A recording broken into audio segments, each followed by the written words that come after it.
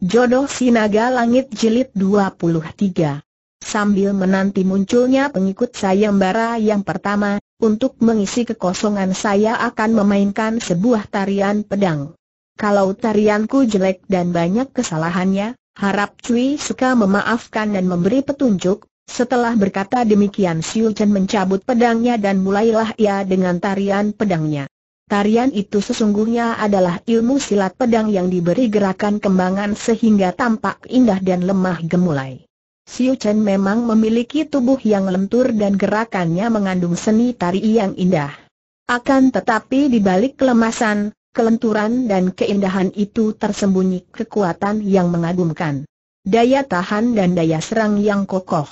Kalau semua gerakan kembangan dan variasi itu dihilangkan, maka gerakan-gerakan pedang itu akan menjadi berbahaya sekali bagi lawan. Hem, cantik dan indah sekali, Tian Leong, Han berbisik pula. Ilmu silatnya cukup tangguh. Kuda-kudanya seperti yang biasa dipergunakan para Hwasyo, pendeta Buddhis, kalau mengajarkan silat kepada muridnya. Kokoh dan mantap, tarian itu tidak lama. Tentu saja Oh Yang Siu Chen tidak mau menghamburkan banyak tenaga karena ia menghadapi pertandingan silat kalau ada yang maju mengikuti sayembara. Ayahnya, Oh Yang Kun memang bijaksana. Di antara syarat-syarat bagi calon jodohnya itu, adalah syarat bahwa ikutnya seorang calon harus atas persetujuannya. Berarti ayahnya hanya mau menjodohkannya dengan seorang pemuda kalau Siu Chen menyetujuinya. Hal ini untuk mencegah agar gadis itu tidak terpaksa menjadi istri seorang laki-laki yang tidak disukanya hanya karena laki-laki itu dapat mengalahkannya dalam pibu. Setelah Xiu Chen menghentikan tariannya, seorang pemuda berusia sekitar 20 tahun masuk ke dalam gelanggang, disambut tepuk tangan para penonton karena selain mereka mengenal pemuda itu sebagai putra guru silat yang di kota Lengan, juga semua orang sejak tadi sudah tidak sabar menanti munculnya orang yang memasuki sayembara itu agar mereka dapat menonton pertandingan silat. Melihat ada seorang pemuda memasuki gelanggang, Yang pun lalu bangkit dan menghampiri sehingga berdiri berhadapan dengan pemuda itu, sedangkan Yang Siu Chen mundur dan berdiri di belakang ayahnya sambil memandang kepada pemuda itu. Chiang Lun adalah seorang pemuda yang berwajah cukup ganteng, tubuhnya sedang dan dia berdiri di depan Yang Kun dengan tegak. Apa kehendakmu masuk ke sini? Orang muda tanya Yang Kun. Kalau boleh, saya ingin mencoba kelihayan Nona Ouyang, Ouyang Kun menoleh dan memandang kepada putrinya. Siu Chen mengangguk, tanda bahwa ia mau berpibu melawan pemuda itu. Orang muda, siapa namamu nama saya Chiang Lun, baik, kami mempersilakan engkau untuk saling menguji kepandaian dengan Siu Chen. Setelah berkata demikian, Ouyang Kun mundur dan duduk kembali ke atas batu. Kini Siu Chen berhadapan dengan pemuda itu. Silakan mulai, Nona. Aku telah siap kata Chiang Lun yang segera memasang kuda-kuda dengan berdiri tegak, kedua kaki merapat dan kedua tangan direntangkan, yang kanan menunjuk ke atas, yang kiri menunjuk ke bawah. Pemukaan Tian Te Sin Kun, silat sakti langit bumi, bisik Tian Liong. Tapi rapuh, bisik pula Han, Tian Leong juga maklum bahwa pasangan kuda-kuda dari pemuda bernama Chiang Lun itu tidak cukup kokoh dan melihat gerakan kaki Xiu Chen ketika menari silat pedang tadi dia sudah dapat menduga bahwa pemuda ini tidak akan menang melawan gadis itu. Tingkat kepandaian mereka berselisih jauh. Kami tuan rumah dan engkau tamunya, silakan menyerang lebih dulu, kata Siu Chen yang juga memasang kuda-kuda dengan menekuk kedua lututnya, menghadap ke samping dan memutar kepala ke arah lawan, kedua tangan di kepala di pinggang. Hem, kalau tidak salah kuda-kuda itu dari aliran Kuan Im Kun, silat Dewi Kuan Im, kata Han Lirih. Atau silat Dewa Jilaihut, ilmu silat yang biasanya dimainkan para pendeta, kata Tian Liong. Mendengar ucapan gadis itu, Chiang Lun tersenyum. Baiklah, Maaf, sambut seranganku, nona pemuda itu mulai menyerang dan diamainkan ilmu silat langit bumi yang sebetulnya merupakan ilmu silat yang cukup ampuh karena gerakan serangannya berganda, serangan ke bagian atas tubuh lawan disusul dengan hampir berbarengan dengan serangan dari bawah. Kalau saja dia sudah menguasai dengan baik dan memiliki Sin Kang, tenaga sakti, yang kuat, dia akan merupakan lawan yang tangguh dan berbahaya. Akan tetapi, Siu Chen bergerak cepat dan gerakannya ringan sekali. Tubuhnya berkelebatan ketika mengelak dari serangkai pukulan pemuda itu. Ia pun balas menyerang dan Chiang Lun dapat menangkis serangan balasan itu dengan baik pula. Bagi mereka yang tidak mengenal ilmu silat, atau yang hanya mengenal kulitnya saja tentu menganggap bahwa pertandingan itu seru dan seimbang. Telah lebih dari 30 jurus mereka bertanding dan tampaknya belum ada yang lebih unggul sehingga kelihatan seru dan seimbang. Akan tetapi Han berbisik kepada Tian Liong. Wah, engkau terlambat, Tian Liong. Gadis itu agaknya telah memilih calon suaminya, engkau benar dan aku ikut girang, mereka memang serasi untuk menjadi pasangan hidup, sementara itu, Yang Kun juga maklum apa yang terjadi pada putrinya. Dia tahu benar bahwa kalau dikehendaki, dalam belasan jurus saja putrinya itu akan mampu mengalahkan lawannya. Akan tetapi agaknya Xiu Chen tidak mau melakukan hal itu. Ia mengalah dan hal ini hanya mempunyai arti bahwa putrinya itu jatuh cinta kepada Chiang Lun itu. Bagi dia mempunyai seorang mantu yang ilmu silatnya lebih rendah daripada tingkat puterinya tidak menjadi soal. Yang penting Xiu Chen mencintanya dan mantunya itu bukan seorang jahat. Melihat betapa pertandingan itu berlangsung sampai hampir 50 jurus, Yang pun merasa cukup dan dia pun melompat ke tengah. Cukup, harap kalian berhenti dua orang itu mundur dan Xiu Chen menundukkan mukanya yang menjadi kemerahan. Klang Lun memandang kepadanya dengan mulut tersenyum, tampak dia girang sekali. Cui, sayembara ini sudah selesai. Kami telah menemukan pilihan calon suami putri kami, tidak bisa. Ini tidak adil terdengar teriakan dan seorang laki-laki berusia kurang lebih 35 tahun, bertubuh tinggi besar dan mukanya hitam bopeng, bekas cacar, melompat ke tengah lapangan. Kemenangan bocah ini sama sekali tidak sah dia berseru dengan suaranya yang parau dan terdengar logat bicaranya kaku dan asing. Hem, dia itu orang dari barat, suku Tibet, bisik Han kepada Tian Liong. Pemuda ini juga sudah menduga demikian karena pernah dia bertemu dengan beberapa orang pendeta lama dari Tibet ketika mereka datang mengunjungi gurunya, Tiong Chin Jin. Ouyang Kun menghadapi orang itu dengan alis berkerut, akan tetapi dia menahan marah dan bertanya, Sobat, menentukan pilihan calon suami untuk putriku merupakan hak kami, orang luar sama sekali tidak berhak mencampuri, hohohaha. Enak saja engkau menentukan begitu. Akan tetapi tanyalah kepada semua penonton ini. Kalian berdua telah melanggar peraturan yang kalian adakan sendiri. Bukankah tadi engkau sendiri mengumumkan bahwa yang berhak berjodoh dengan puterimu adalah orang yang dapat mengalahkan puterimu dan dapat bertahan pula melawanmu selama 20 jurus? Hai, saudara-saudara, bukankah dia tadi berjanji demikian para penonton yang juga merasa tidak puas dengan keputusan yang diambil? Yang Kun dan mereka menginginkan sebuah pertandingan berikutnya yang lebih seru, segera berseru, Benar mendengar seruan orang banyak ini, Yang Kun lalu bertanya dengan lantang. Sobat, katakan siapa namamu Hoho, namaku Golam kata si tinggi besar muka hitam. Dia berbangsa Mongol akan tetapi sudah belasan tahun tinggal di Tibet sehingga logat bicaranya seperti orang Tibet.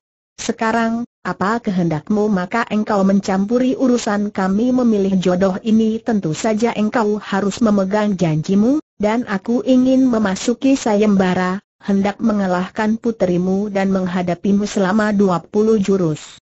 Kalau aku berhasil, maka puterimu ini harus menjadi istriku yang pun mengerutkan alisnya dan menatap tajam wajah yang bopeng dan berwarna hitam itu. Golam, melihat usiamu, engkau tentu sudah mempunyai istri dan anak, bukan ho punya anak istri atau tidak sama sekali tidak ada hubungannya dengan sayembara ini. Pendeknya, aku memasuki sayembara dan kalian harus memenuhi janji dan melawan aku. Kecuali, tentu saja, kalau kalian ayah dan anak merasa takut padaku. Kalau begitu, lebih baik kalian mengaku terus terang di depan semua orang ini bahwa kalian takut melawan aku, lalu cepat gulung tikar dan tinggalkan kota ini sebagai pengecut beberapa orang penonton mengeluarkan suara tawa dan semua orang menjadi tegang karena mereka mengharapkan terjadinya pertandingan yang sungguh-sungguh dan sikap golam itu memancing ketegangan. Ouyang Kun menjadi merah mukanya dan matanya mencorong marah. Golam suaranya membentak. Sombong sekali engkau. Mendengar namamu, engkau tentu seorang Mongol dan suaramu menunjukkan bahwa engkau lama tinggal di Tibet. Aku mengerti betapa banyaknya orang Mongol yang terusir dari negaranya karena kejahatannya lalu berkeliaran di Tibet. Kami tidak pernah takut menghadapi orang-orang macam engkau ini. Guruku si Ong Hui Kong Hos yang tidak mempunyai murid pengecut Ho Ho.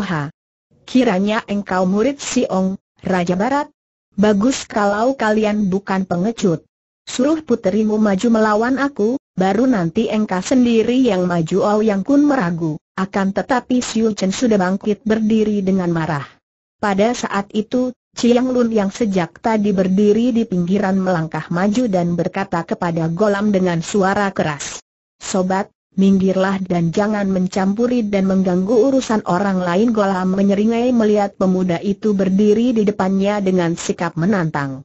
Pergi kau dia membentak dan tangannya yang berlengan panjang itu menampar ke arah kepala Chiang Lun pemuda itu cepat menangkis sambil mengerahkan seluruh tenaganya.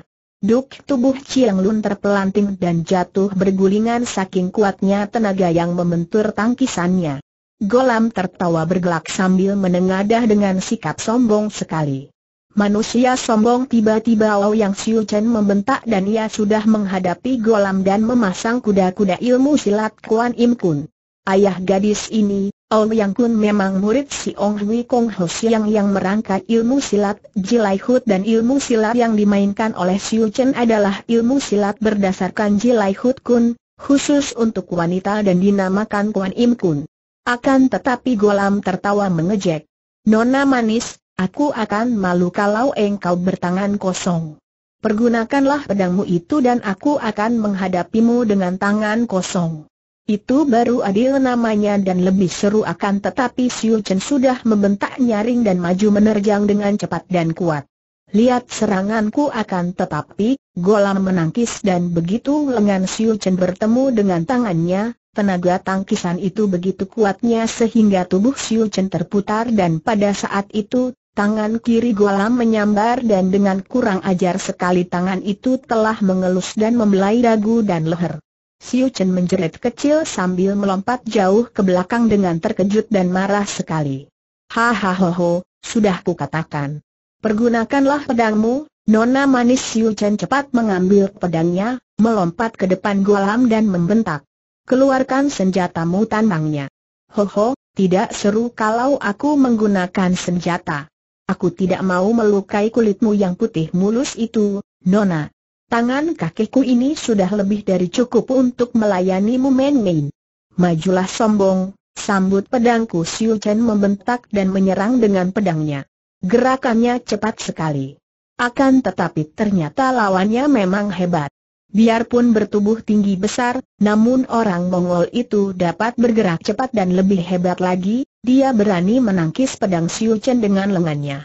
Kalau pedang itu bertemu lengan golam yang menangkis, terdengar bunyi seolah pedang itu bertemu sepotong baja yang amat kuat. Kini para penonton mulai merasa tegang dan khawatir. Yang mereka tonton kini bukan lagi pertandingan adu kepandaian untuk mengukur tingkat masing-masing, melainkan pertandingan perkelahian sungguh-sungguh yang menggunakan senjata, yang dapat merobek tubuh dan merenggut nyawa. Maka, banyak di antara para penonton yang mulai mundur menjauhkan diri dan menonton dari jarak agak jauh yang aman. Tinggal sedikit saja yang menonton di tempat semula, di antara mereka termasuk Tian Liong dan Han, setelah pertandingan antara Siu Chen yang memegang pedang melawan Golam yang bertangan kosong itu berjalan lewat 20 jurus, terdengarlah Golam terkekeh dan diseling jerit-jerit kecil Siu Chen karena kini Golam yang lebih tinggi tingkatnya itu mulai mempermainkan Siu Chen. Tangannya secara kurang ajar sekali menolak pipi, meraba dada, dan mencubit pinggul. Siu Chen menjerit-jerit kecil dan merasa malu dan marah sekali. Jahanam busuk, biar ku bunuh dia Han berbisik dengan muka berubah merah karena marahnya. SSSTT, jangan, Han. Yang Kun adalah murid Si Ong, seorang di antara empat datuk besar. Dia pasti tidak membiarkan puterinya diganggu, kata Tian Liong. Baru saja Tian Liong habis bicara, terdengar Ro Yang Kun membentak lantang. Golam bangsat kurang ajar Tian Liong memandang dan dia melihat betapa Golam sudah merampas dan mematahkan pedang Siu Chen dan kini dia menangkap dan merangkul gadis itu. Yang Kun melompat dan langsung menyerang Golam dengan tamparan tangannya. Golam melepaskan rangkulannya dan mendorong tubuh Siu Chen sehingga gadis itu terpelanting. Kemudian dia mengangkat tangan menangkis. Des tanda seru pertemuan dua tenaga itu dahsyat sekali dan akibatnya tubuh Golam terpelanting dan roboh bergulingan. Pada saat itu terdengar suara nyaring. Omi Tohut. Golam, bawa gadis itu. Engkau berhak memilikinya tampak bayangan berkelebat dan bayangan itu ternyata seorang laki-laki berusia sekitar 45 tahun, bertubuh tinggi kekar dan mukanya penuh berwok akan tetapi kepalanya gundul dan dari jubahnya dapat diketahui bahwa dia itu seorang pendeta lama dari Tibet. Dengan gerakan yang cepat sekali pendeta itu mendorongkan kedua tangannya ke arah Ouyang Kun. Hawa pukulan dahsyat disertai uap hitam menyambar ke arah Yang Kun bagaikan angin badai. Yang Kun terkejut sekali dan dia menyambut dengan kedua tangan sambil mengerahkan seluruh Sin Kang, tenaga sakti, karena dia maklum bahwa pendeta lama itu menyerangnya dengan pukulan yang amat kuat dan ampuh. Blaar bukan main dahsyatnya pertemuan antara dua tenaga sakti itu. Semua penonton merasa betapa tanah yang mereka injak tergetar oleh benturan hebat itu. Tubuh Yang Kun terpental ke belakang dan sebelum dia dapat bangkit, tubuh pendeta lama itu sudah meluncur dekat dan ketika tampak kilat menyambar, pedang di tangan pendeta itu telah memasuki dadanya. Ketika pedang dicabut, Yang Kun mendekap luka di dadanya dari mana darah mengucur dan dia memandang terbelalak kepada penyerangnya. Kau, kau, Mengapa menyerangku hem, engkau yang curang mengeroyok muridku kata pendeta lama itu. yang Kun roboh terkulai dan tewas. Ayah Ah Siu Chen yang tadi terpelanting, sebelum sempat menghindar golam sudah menubruk dan menotok pundaknya sehingga ia tidak mampu melawan lagi. Tubuhnya terasa lemas tiada tenaga dan ia pun tidak dapat melawan ketika tubuhnya dipondong golam. Akan tetapi ia melihat ayahnya tertusuk dan roboh maka ia menjerit. Gola melompat dan membawa gadis itu lari sambil terkekeh senang. Tian Liong, tolong gadis itu, biar ku hajar keledai gundul ini kata Han. Akan tetapi dia lihai sekali, Han dulu aku pernah menghajarnya, jangan khawatir, cepat kejar buaya darat yang melarikan Siu Chen itu Tian Liong tidak membantah lagi dan dia sudah berkelebat cepat melakukan pengejaran terhadap golam yang membawa lari Siu Chen. Sementara itu, pendeta lama itu terkejut ketika tiba-tiba ada bayangan berkelebat di depannya dan tahu-tahu di depannya telah berdiri seorang pemuda yang amat tampan. Goat Kong Lama, engkau memang seorang yang jahat dan kejam Momitohut. Engkau sudah mengenal nama Pinceng, aku? Siapakah engkau? Siapa namamu? Orang muda tanya Goat Kong lama dengan heran. Dia adalah seorang pendeta lama dari Tibet yang namanya asing di wilayah kerajaan Qin maupun kerajaan Sang Selatan. Kemunculannya ini baru yang kedua kalinya. Dulu, kurang lebih dua tahun yang lalu, dia pun pernah keluar dari Tibet untuk mencari Jit Kong lama, seorang tokoh lama yang dianggap murtad dan dicari oleh para lama di Tibet. Goat Kong Lama menjadi utusan para lama untuk mencari dan menangkap Jit Kong Lama. Ketika itu, Jit Kong Lama yang menjadi guru Hon Bilan, sudah meninggalkan wilayah Sang dan kembali ke Tibet. Goat Kong Lama tidak dapat bertemu dengan orang yang dicarinya dan dia bertemu dengan Bilan yang membela Kun Lun Pai karena Goat Kong Lama menuduh Kun Lun Pai menyembunyikan Jit Kong Lama. Terjadi perkelahian dan Bilan dapat mengalahkan Goat Kong lama dengan ilmu silat Gerlo Heng Lian Hoan Kun Hoat yang ia pelajari dari kitab yang ia curi dari Tian Liong. Setelah Goat Kong lama kalah, dia diberitahu bahwa Jit Kong lama sudah kembali ke Tibet dan dia pun lalu kembali ke barat. Tidak perlu engkau tahu siapa aku jawab Han dengan ketus. Sekarang katakan, di mana adanya Jit Kong lama Goat Kong lama membelalakan matanya. Mengapa engkau menanyakan Jit Kong lama? Apa hubunganmu dengan dia tak perlu engkau tahu. Katakan saja di mana dia Omi Tohut, hahaha, orang muda, engkau ingin mengetahui di mana adanya Jit Kong lama? Sebentar lagi engkau akan dapat bertemu dengan dia di neraka Han atau Bilan terkejut.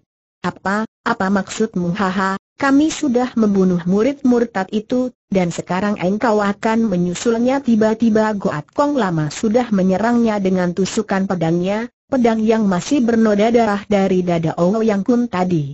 Akan tetapi mendengar bahwa gurunya, Jit Kong lama dibunuh oleh pendekar lama ini, Han sudah menjadi marah sekali dan dengan cepat dia sudah miringkan tubuhnya dan gerakannya menjadi kaku dan aneh karena dia sudah mainkan ilmu silat aneh Sin Chiang Tintian yang dia pelajari dari si mayat hidup.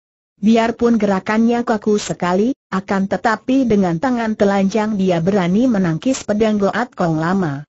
Kring Terang Bok Goat Kong lama terkejut bukan main ketika pedangnya terpental dan hampir terlepas dari pegangannya. Hampir dia tidak dapat percaya. Bagaimana mungkin pemuda itu kuat menangkis pedangnya? Dia sendiri memiliki kekebalan dan berani menangkis senjata tajam lawan, akan tetapi bukan pedangnya ini. Pedangnya adalah sebatang pedang pusaka yang dapat memotong sepotong besi baja seperti memotong kayu lunak saja. Dan gerakan pemuda itu mengerikan. Bukan seperti orang bergerak dalam ilmu silat, melainkan seperti setan atau mayat berjalan, kaku dan menyeramkan. Goat Kong lama mengeluarkan seluruh jurus simpanannya dan mengerahkan seluruh tenaganya karena dia maklum betapa lihai lawannya yang masih muda itu. Padahal selama ini dia sudah memperdalam ilmu-ilmunya. Bagaimana mungkin dia yang bersenjatakan sebatang pedang pusaka ampuh tidak akan dapat mengalahkan seorang pemuda yang bertangan kosong? Saking penasaran, pendeta lama itu menyerang dengan hebat, mengamuk sambil mulutnya mengeluarkan suara bacaan mantram yang dapat mendatangkan kekuatan sihir yang ampuh. Namun, Han agaknya tidak terpengaruh dan terjadilah pertandingan mati-matian karena sambaran tangan dan kaki Han juga merupakan cengkeraman-cengkeraman maut bagi lawannya. Sementara itu, Tian Leong sudah berlari cepat mengejar golam yang melarikan diri sambil memondong Ouyang Siu Chen. Orang Mongol ini lari ke arah telaga dan dia melepaskan tali sebuah perahu, agaknya hendak melarikan diri dengan perahu itu. Akan tetapi pada saat itu terdengar bentakan di belakangnya. Lepaskan gadis itu golam cepat membalikan tubuhnya, lengan kiri masih memanggul tubuh Siu Chen di atas pundaknya dan tangan kanannya yang besar dan panjang itu menyambar ke arah Tian Liong. Tamparan itu kuat sekali. Akan tetapi Tian Liong yang mengkhawatirkan keselamatan gadis itu, takut kalau dia menggunakan kekerasan Siu Chen akan terluka, tidak menangkis melainkan mengelak dan secepat kilat tangan kirinya menotok ke arah pundak kiri Golam. Tuk Golam mengeluh karena tiba-tiba lengan kirinya terasa lumpuh dan sebelum dia dapat menguasai dirinya, tahu-tahu tubuh Siu Chen sudah terlepas dari pon lengannya. Dia menjadi marah bukan main, mengerahkan seluruh tenaganya sehingga kelumpuhan sementara pada lengan kirinya itu menghilang. Dengan suara menggereng seperti seekor serigala, dia menubruk ke arah Tian Liong. Akan tetapi pemuda yang masih memondong tubuh Siu Chen yang dirampasnya tadi memutar tubuh setengah lingkaran dan kaki kanannya mencuat dengan amat cepat dan kuatnya, merupakan sebuah tendangan kilat. Siu Uut, dos tubuh Golam terlempar jauh dan jatuh ke dalam telaga. Air munkrat dan Golam yang terkejut dan merasa dadanya nyeri dan napasnya sesak maklum bahwa pemuda itu lihai bukan main dia tidak akan menang melawan pemuda itu, maka takut kalau dikejar dan diserang, dia lalu menyelam ke dalam air. Akan tetapi Tian Liong sama sekali tidak mempunyai niat untuk mengejar. Dia hanya memandang ketika orang Mongol itu muncul di permukaan air, sudah jauh di tengah lalu berenang dengan cepat ke arah menjauh. Lalu dengan hati-hati Tian Liong menurunkan tubuh Siu Chen di atas tanah dan menggunakan jari tangannya membuka totokan yang dilakukan golam atas diri gadis itu. Begitu terbebas dari totokan, Siu Chen bangkit berdiri, akan tetapi ia terhuyung dan mengeluh, ayah tiba-tiba Chiang Lun, pemuda yang tadi menjadi orang pertama memasuki sayembara, dan yang tadi ikut mencoba mengejar ketika melihat Siu Chen dilarikan golam, sudah mendekati gadis itu dan memegang lengannya agar tidak jatuh. Nona, tenangkan hatimu, setelah Siu Chen tidak terhuyung lagi, Chiang Lun melepaskan pegangannya. Ahaha, bagaimana dengan ayahku ia melihat Tian Liong yang tadi menolongnya sudah berlari cepat ke tempat dilakukan tibu tadi. Ayahmu terluka oleh pendekta jahat itu, akan tetapi sekarang seorang pemuda sedang berkelahi dengannya, ayah Siu Chen menoleh ke arah tempat tadi lalu ia lari sambil terisak-isak. Chiang Lun juga lari mengikuti. Perkelahian antara Goat Kong Lama dan Hon berlangsung seru. Pendeta lama itu makin terkejut ketika menghadapi serangan-serangan aneh dari Han, dengan gerakan kaku namun setiap gerakan itu mengandung tenaga Sin Kang yang luar biasa. Di lain pihak, Han atau Bilan sengaja mengeluarkan jurus-jurus andalannya karena ia mengambil keputusan untuk membunuh pendeta lama yang tadi mengatakan telah membunuh gurunya, yaitu Jit Kong lama. Selain itu, juga dia tadi melihat betapa jahat dan kejamnya Goat Kong lama yang membantu Golam dengan membunuh Yang Kun dan membiarkan orang Mongol itu menculik Siu Chen. Mampuslah Goat Kong lama menyerang dengan dahsyat sekali, menusukkan pedangnya ke arah dada Han sambil mengeluarkan teriakan menggelegar.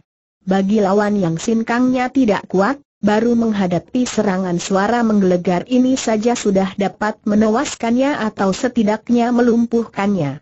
Akan tetapi Han tidak terpengaruh sama sekali.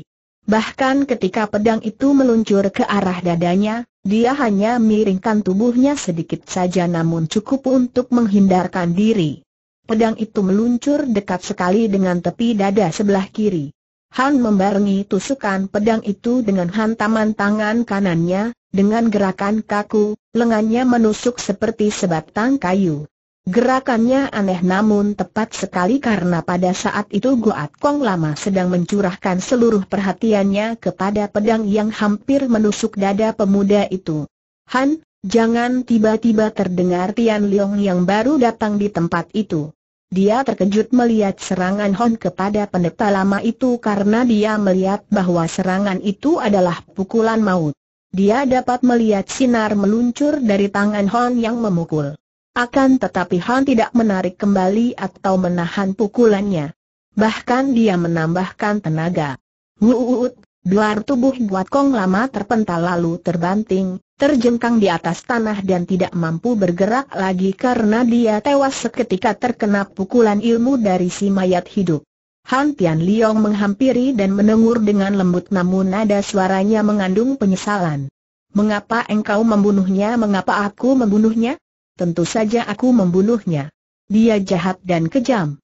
Tidakkah engkau melihat sendiri betapa dia membantu Gola menculik Siu Chen dan dia membunuh Hou Yang Kun?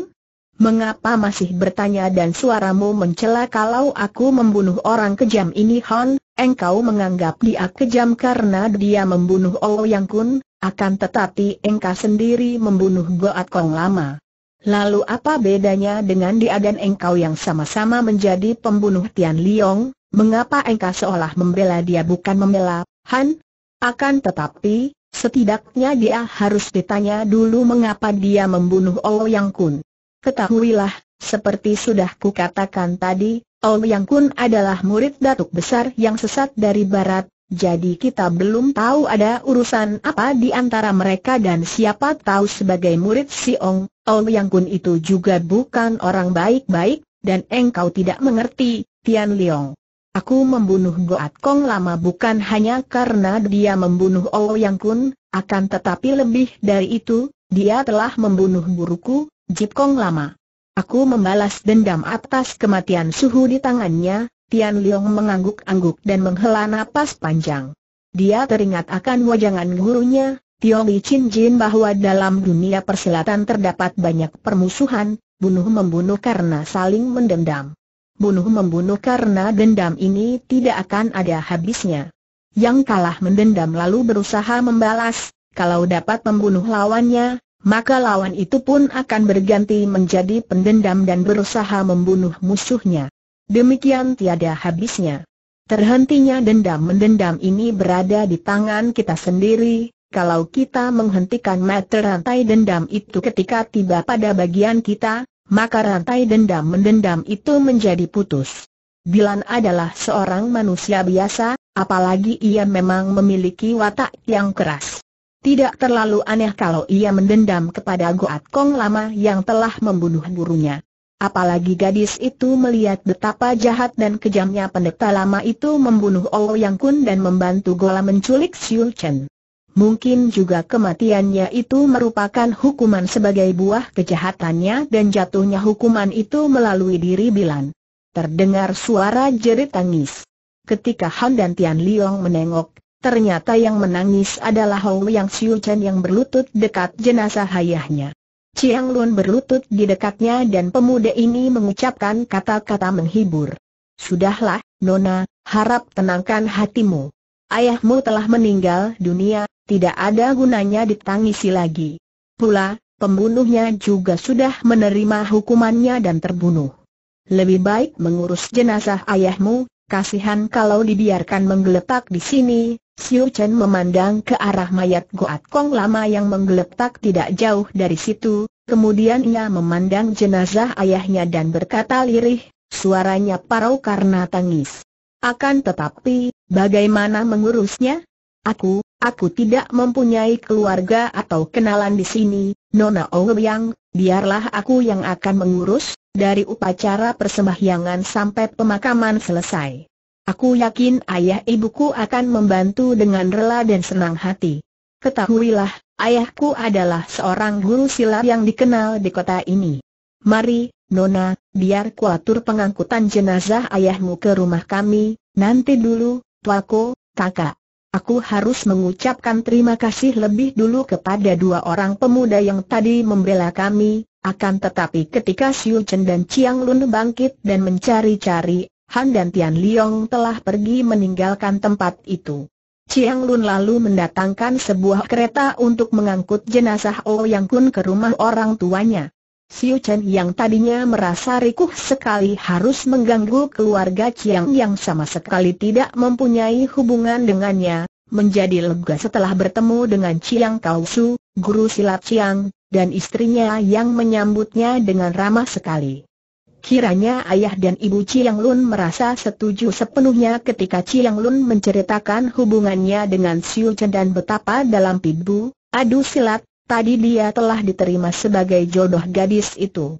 Jenazah Ho Yang pun lalu diurus sebaik-baiknya sampai selesai dimakamkan. Tentu saja Siu Chen sangat berterima kasih dan karena memang sejak ibu tadi ia sudah tertarik dan suka kepada Chiang Lun, maka ia setuju ketika orang tua Chiang Lun dengan resmi mengangkatnya menjadi mantu.